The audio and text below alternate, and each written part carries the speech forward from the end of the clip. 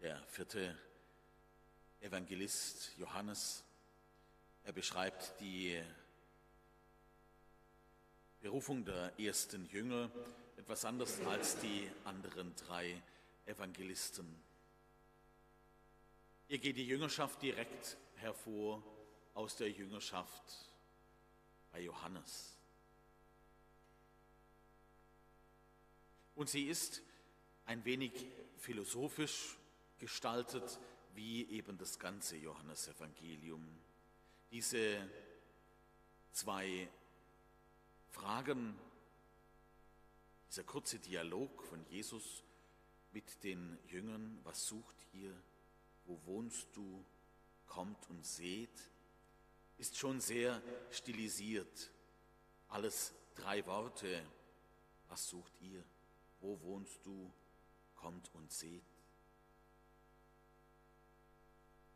Aber ihnen mal in ihre Tiefe nachzugehen, könnte uns vielleicht helfen für diesen Tag und für die nächste Zeit. Sich von Jesus fragen zu lassen, was suchst du?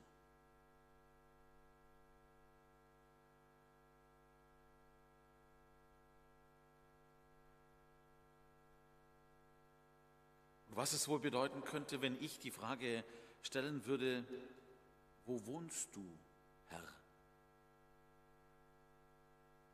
Ist da die Innenausstattung seines Hauses gemeint oder ist es eher das in was bist du zu Hause? Zeig mir deine Welt, zeig mir dein Lebenshaus. Ich möchte mehr von dir erfahren. Ich möchte wissen, wie du eigentlich lebst und liebst. Und sie haben ja schon etwas von ihm gehört. Das heißt, sie sind auch neugierig, interessiert, was die Leute da über Jesus sagen und wie es wirklich ist. Und auch wir haben viel von Jesus gehört. Aber ist da noch Neugier? Ist da noch Interesse daran, wo Jesus wohnt? Oder haben wir ihn schon längst auf Wolke 7 gesetzt oder in irgendeinen sprichwörtlichen Himmel geschoben, so dass er definitiv nichts mit unserem Alltag zu tun hat? Lasse ich mich von Jesus so einladen, wie es die Jünger tun? Kommt und seht. Er spricht das doch auch in mein Leben hinein. Komm und sieh. Komm, geh mit mir. Komm, geh auf den Spuren meiner Wege, meines Lebens, meines Liebens. Leb doch die Art, wie ich gelebt habe Glaub mir doch, dass es dich zu mehr Leben führt. Glaub doch, dass das wahres Leben bringt.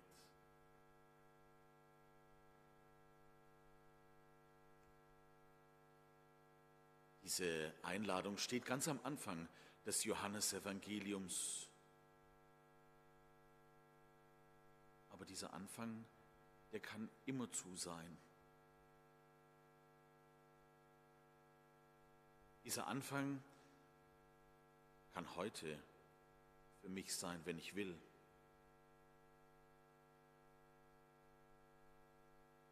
Ihn dort zu finden, wo er heute an meiner Seite in den Begegnungen des heutigen Tages leben will, wie er mir heute seine Welt, sein Lebenshaus zeigen will, wie er mir heute sagen will, dass ich in meiner Welt so leben kann, wie er gelebt hat.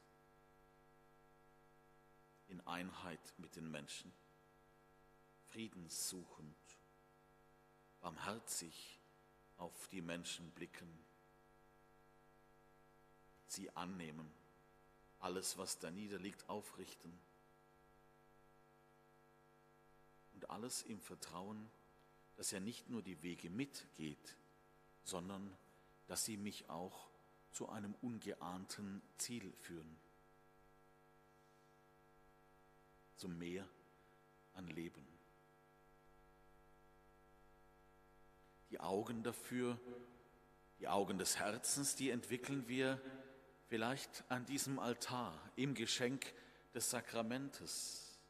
Denn nur gläubige Augen, vertrauende Augen vermögen im gebrochenen Stück Brot den allmächtigen Gott zu erkennen. Im gebrochenen Brot all das zu erkennen, wofür wir dankbar sein dürfen. Im gebrochenen und in der Gemeinschaft geteilten Brot das ganze Geschenk des Lebens erkennen. Kommt und seht.